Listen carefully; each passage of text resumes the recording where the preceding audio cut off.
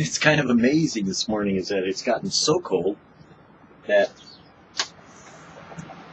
depending upon where I place my camera, I can't quite get my door closed. you know, it's kind of kind of reminds me of God too. You know, God has placed you somewhere. He's got a purpose for you. You know, you're you're you. Isn't that a surprise? You figure it out? You're you. wow, and you needed me to say so. No, but the reality of our life's experiences, the things that God has brought us through and is taking us through in this journey we call life, has made us uniquely designed for a purpose. And sometimes people will come into your life for a short period of time and they may accomplish their purpose and go on to do those things that God has called them to do. I know for myself, I uh, have a news service that, you know, I had a overwhelming burden, you know, to get it launched and off the ground. And, you know, I, I had some other people that I was taking on as editors, sharing with them about how, you know, I wanted them to do some posting for music and for other things. And it worked out pretty good, you know. I had to be a managing editor because I knew what the Lord wanted, you know, in regards to it. So they were, they were co-administrators, so to speak, you know. And a lot of people like that, you know, title stuff where, you know, serving the Lord is a challenge because you you pray over everything you do. You know, you really want to please the Father, you know, when you're serving Jesus, and that can be challenging when you are in leadership positions and you have other people that are, whether they know it or not, you're accountable for and responsible to either answer to the Lord for or answer for their actions. And for me in the news service, it's always a challenge because a lot of people have agendas. You know, we we all do. We're human beings. Each one of us has a peculiar bias or a design and purpose that we might have flaws or feelings that we might be operating by more so than what maybe the Lord has done in us in ministry. Because the only way to learn about ministry, according to Chuck Smith, is to do ministry. you just go out there and make your mistakes and let the Lord lead you. More or less, you know, you should have some kind of training, you know, might help, but God can use anybody, you know, you don't have to have any training at all. So for a season, it was, it was good, you know, to have this person help me, but I had to finally make a decision when, you know, this time is coming that has really been pushing people to the extremes. They get caught up in politics and they get caught up in in personal biases or prejudices and you have to decide for yourself, you know, whether it's a benefit some of the friends you have or some of the ministries you're involved in or some of the quote unquote groups that you participate in or whether you need to kind of cut that off, you know, you need to prune the branch as it were, you know, and let it go and be replanted into its own pod and to accomplish its own purposes. But for yourself, sometimes you need to walk away, you know, to go do something else, to go be what God wants you to be. And for me, I had to do that, as even as I have to do that here where I live, is that God has taken me through a time of change where I had to prune and refine a lot of the ministry on the internet. And it's become highly successful. I mean, you can always tell when you do something in the Lord that God has been wanting you to do because on the one hand, you, feel the burden like something's not quite right. And then when you either change it, correct it, or cut it off in some way, it's like, wow, there's a huge difference and you, you see the change and you, you feel it. It's like, wow, that is so cool. And so you kind of know the difference right away. And when that happens, it's like, such a relief, such a blessing, as it were, to go ahead and get done what it is that you wanted to accomplish in the first place. So, for me, it's been a time of retrospection, much like this year always is, is that this time of year I always think about it, what I'm doing, and how I'm wanting to accomplish it. And unfortunately, that also means that I have to move because in the place with where I'm living, my very living arrangements have become challenging in the sense of overbearing rules and regulations outrageous and just unreasonable. Know, so even though, sadly, my landlord may be a Christian, you know, I've had to decide, well, you know, just because a person's a Christian doesn't mean they're right. God's leading me onward, so gotta go. You know, same thing might be true for you in ministries that as a leader or as a servant, you may have to at times either change your church or change your ministry or you know, remove and ask to remove you know different people that might be hindering your growth or your accomplishment of what always be faithful in what you're doing and seek the Lord, you know, and don't try to cause aggravation or division, but try to bless someone if they're going.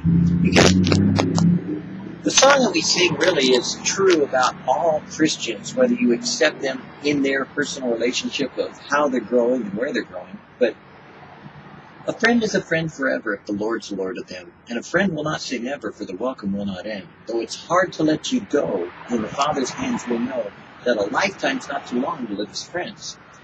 The love of God constrains us and causes us to bear one another's burdens to a point, and then we need to set them free to accomplish what they would do in the Lord. So if you have yourself in conversation with God about something that you have some consternation, which would which technically means conflict or or concern that doesn't seem quite right, well, take it to the Lord in prayer, you know? And don't just expect God to leave it there, you know. Sometimes God wants you to take a step. And if you do, maybe he's telling you to go different directions, kind of like Paul and Barnabas, although they did pretty dramatic. But try to make it not so drama or like a drama queen, but make it more like a blessing and an encouragement for both parties to go their separate ways. Because someone may be sent by the Lord to go north, and you may be sent by the Lord to go south. And it doesn't mean one is right and one is wrong, though you may have differences of ministry and differences of application by the Holy Spirit. God still wants you to be one in the Spirit and one in the Lord. It's just He's got something unique and different for you than He does for me. So never be afraid to follow the Lord's leading and some of the challenges that there are in stepping into ministry and walking with it. Never be afraid to change what you're doing, to rearrange it, to reevaluate it, to take it in a different direction. Because as you go in that direction, I, I like to say it this way. I run just as hard and as fast as I can in any ministry because I know that if I'm moving fast and hard, damn, when I hit that wall, there's no doubt that it was a wall. But you see, if you're kind of like walking along and trudging and kind of fearful, and you go, uh, should I or shouldn't I? Maybe, maybe this, maybe that. You know, oh, but it looks like this, it looks like that. Well, you know, that might work for some people. It doesn't work for me. Because you see, if I doubt, I have a problem with faith then. Because to me, doubt and faith just conflict with each other.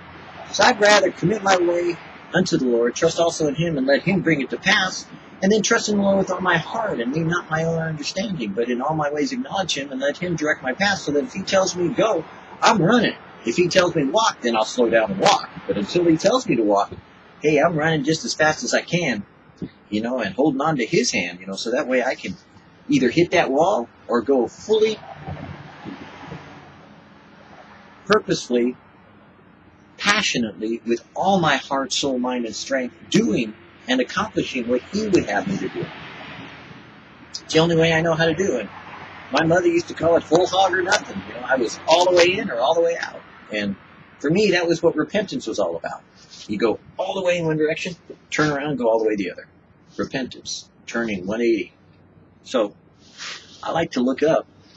I like to listen. I like to ask God. I like to get it on too, you know, get get it on and get moving with it. So, though I have to take my steps slowly to move here, and to, sometimes when I'm dealing with people to give them enough chance to do what they're going to do, there are times that I've been in ministry where you know I've had to deal with pastors even, you know, where it's like, you know, if a pastor is off and you're working with them in ministry, and you've prayed, and the Lord is just kind of like saying, you know, slowly, you know, you need to leave. You know, you, you don't leave them high and dry and, you know, backbite them and cause division. You just slowly walk away. You know, you peacefully try to do the best that you can for them and then go away from them and leave them with a blessing. I know for myself, I have a few pastors that have been greatly challenging to me that I have walked in my integrity. And praise the Lord, I was challenged directly face to face in massive confrontation and didn't didn't fail. You know, I mean, I allowed myself to be weaker so that in faith you appear the weaker, that the A-type personalities may assert themselves and be who they need to be, I guess. But you leave it in the Lord's hands, you know, and thinking of those times, I, I am blessed that I can say that I learned that a long time ago, thank God. You know, and there have been times that, you know, yeah, I've been surprised by sometimes carnal Christians that have, you know, kind of like nailed me to the, you know, back, you know, so to speak, and gone through those experiences. But you can't let any of those things bitter you. You got to let them better you because the better that you are in loving them, looking back, and even at the time, the more God is able to use you to effectively touch people's lives. And then He takes you to a broader or bigger sphere of influence. And it's not that we want to be big and lifted up or holy or something, but don't you want to be more like Jesus? I mean, wouldn't it be fun to kind of like see Him at work in us, to be more like Him? For me, that's what it's all about. You know, I want to be like God's only Son, even if I'm the only one. I want to hear when I'm done, you did well, my son. And that's my motivation, you know, my joy, my anticipation of all that I want to do. I don't want to be a jock superstar that gives it all the glory to God. You know, I don't want to be some, you know, the best that there was at some one thing. I just want to be God's son. You know, I just want to do what He wants me to do today. And tomorrow, hey, He can take care of tomorrow for me. And yesterday, He's taught me through it, and I'm glad for it, and I enjoyed it. And I participated in it with all that I had, and I gave it all that I got. Be Christ's bondservant. Now, the Lord is a spirit, and where the spirit of the Lord is, there is liberty. 2 Corinthians 3.17 Paul said that we would not become the slave of anything or anyone but Jesus Christ. Everything is lawful for me, but I will not become the slave of anything or be brought under its power. 1 Corinthians 6:12. He also said if I had been trying to be popular with people, I would now I would not be I would not now be a bondservant of the Lord Jesus Christ. See Galatians 1:10. If you let other people control you, you will not fulfill the call of God on your life. If you let their rejection frighten you, and change your focus, you won't do what God wants you to do. Be a slave only to a, to God and a servant to people on his behalf. So you see, it's not about getting this power of the Holy Spirit and going out and blasting people and, you know, blessing them as though you've got the ability to, or cursing them as you think you can, or casting out demons as you think you've got the capability. But rather, it's kind of serving God, you know, with your whole heart, mind, soul, and strength. It's letting God direct you every day of your life. It's being aware that you are someone's servant.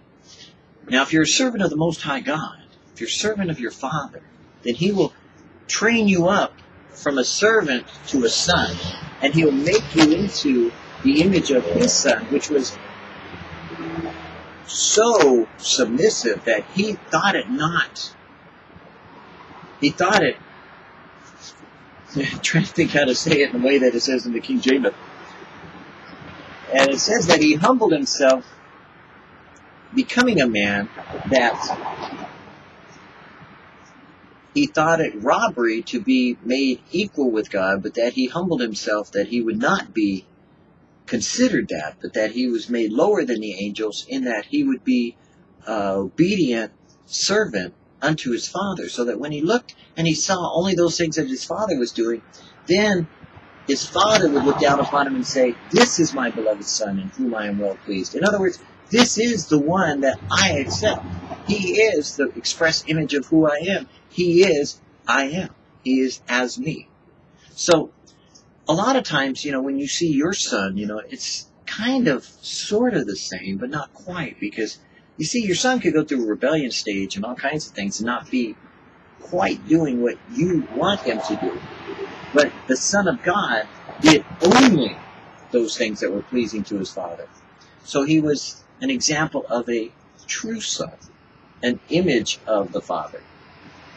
And as God, Jesus is our example. So we have in him the way to be unto others, whom Jesus said he came not to condemn, but rather to save and he was willing to lay down his life for them. So we too, likewise, in ministry, ought to bear one another's burdens, and then when it's time, if the Lord says, let them go, and then bless them as they go, and encourage them in their ministry even after they are gone.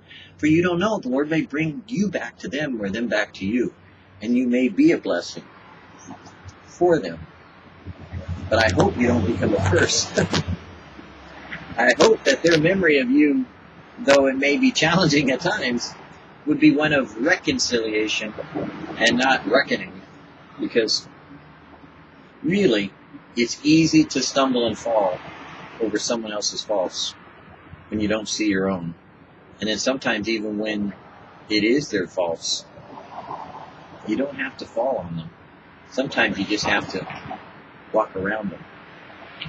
I hope for you today that if you are being challenged to move because God is telling you to go, or He's challenging you to change your ministry or change something in your life, if you have to, say you have to go tough love on a son or a child, or you have to stick it out in some unwanted marriage because you think, you know, well, the Lord, you know, I want to divorce him, but the Lord said no, you know, and so God's telling you for some reason to stick it out, then I pray that you can.